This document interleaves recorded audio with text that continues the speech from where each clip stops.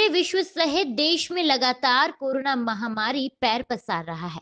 ऐसे में अखिल भारतीय राजपूत युवा संगठन इंदौर इकाई द्वारा चौथे वर्ष भी अन्नकूट महोत्सव का आयोजन किया गया, जिसमें कोरोना को देखते हुए कम संख्या में, जिसमें कोरोना को देखते हुए कम संख्या में राजपूत समाज के समाजजन ने भाग लिया।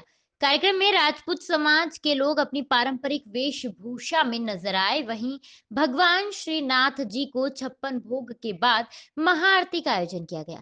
कोरोना वायरस को लेकर सभी समाज के लोगों ने शपथ लेकर जारी गाइडलाइन का पालन करने की शपथ ली। वहीं कार्यक्रम में अखिल भारतीय युवा राजपूत संगठन द्वारा सभी समाज के लोगों को मास्क व सैनिटाइजर का वितरण किया गया। अखिल भारतीय क्षत्रिय राजपूत युवा संगठन मध्य प्रदेश इंदौर इकाई का यह लगातार चौथा वर्ष है जिसमें अन्नकूट का प्रोग्राम रखा गया को, कोरोना को देखते हुए यह प्रोग्राम यहीं किया गया है जिससे हमारा परंपरा का निर्वाह सफलतापूर्वक हो सके और प्रशासन का भी हमने ख्याल रखा गया है। इसमें पचास से साठ व्यक्ति आए हैं जो कि इंदौर से ही हैं। और यहाँ पे हमने अभी सैनिटाइज़र पेन वितरण करने का रखा है।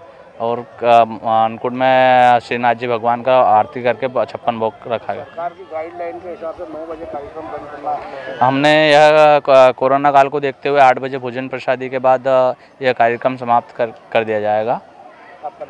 कुंवर यह लगातार चार वर्षों से प्रोग्राम किया जा रहा है। कुंवर पुष्पेंद्र सिंह विराड़िया अखिल भारतीय क्षत्रिय राजपूत युवा संगठन इंदौर जिला अध्यक्ष।